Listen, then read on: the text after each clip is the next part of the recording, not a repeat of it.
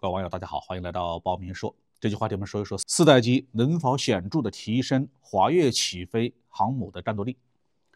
最近呢，有媒体在辽宁号航母上发现了一架歼三五的隐形战斗机的模型，停放在飞行的甲板上。这艘航母啊，目前处在船厂维保的过程中。人们推测啊，这个模型的出现意味着歼三五有可能用在辽宁号这样的型号上。辽宁号和山东号呢，这两艘航空母舰上的舰载机都主要是歼十五这款战斗机啊，是我国对从俄罗斯进口的苏三三舰载战斗机进行改装，通过对发动机啊、对航空电子系统火控系统进行升级改造以后，不但保留了苏三三的优异的性能，其综合作战能力还有了质的飞跃。歼三五啊，是为海军航空兵研制的第四代舰载战斗机，目前呢还处在试飞阶段。一般认为啊，它是和福建号航母配套的。采用弹射起飞和拦阻降落的方式。那歼三十五出现在辽宁号上面呢，自然会让大家感到啊很有兴趣。难道海军航空兵也在考虑歼三五的滑跃起飞吗？四代机在航母上采用滑跃起飞的方式是有先例的。英国伊丽莎白号和威尔士亲王号这两艘航母都是滑跃起飞设计。不过这两艘航母装备的是短距起飞、垂直降落的 F 三十五 B。航母上呢并没有拦阻锁，飞机起飞的时候可以从前方的坡道上起飞，但降落的时候啊要打开升力发动机，垂直下降到甲板上。如果把类似于 F 三十五 C 这样的型号放在辽宁号、山东号之类的航母上，采用滑跃起飞和拦阻降落，是不是具备可能性呢？这是美国、英国、法国乃至俄罗斯的海军都没有试验过的问题啊。从这两艘航母的实际使用来说呢，如果能使用歼三十五。当然是非常有利的。目前我们这两艘航母配套的歼十五战斗机虽然能够用来执行多种任务，但是对上美国阵营装备的第四代隐身战斗机 F 三十五 C，歼十五就不占优势了。美军主力航母已经大量的配备 F 三十五 C 中队，海军陆战队的两栖攻击舰配备了 F 三十五 B，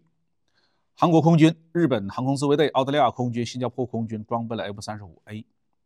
美国呢还希望韩国海军、日本海上自卫队和澳大利亚海军能够采购 F 三十五 B，用在各自的轻型航母或者是两栖攻击舰上。那歼十五遇到这样一些型号，将在隐身和信息化能力方面呢面临代差的劣势。仅仅凭借歼十五，我们的山东号和辽宁号就很难作为主力航母发挥作用。如果将歼三十五配备在滑跃型航母上，技术上是可行的。歼三五本身是双发动机的，靠自身动力是可以滑跃起飞的。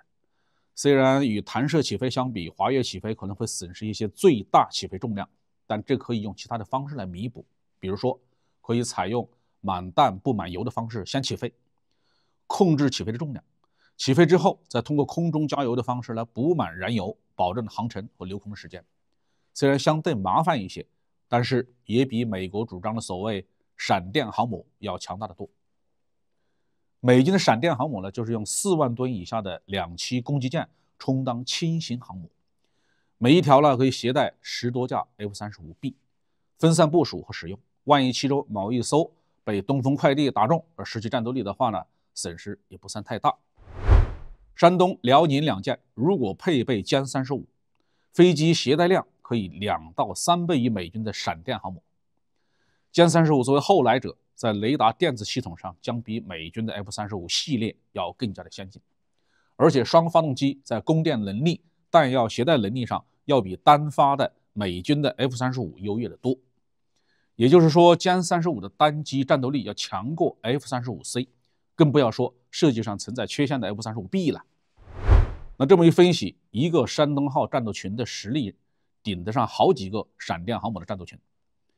到目前为止呢，我们还没有看到歼三十五从我们的航母上起飞的视频。无论是弹射起飞还是滑跃起飞，都还在期待之中。不过啊，这是一个按部就班的技术发展过程，假以时日，关于航母的各种梦想都能实现，我们也有这个信心。好，这句话就说到这里。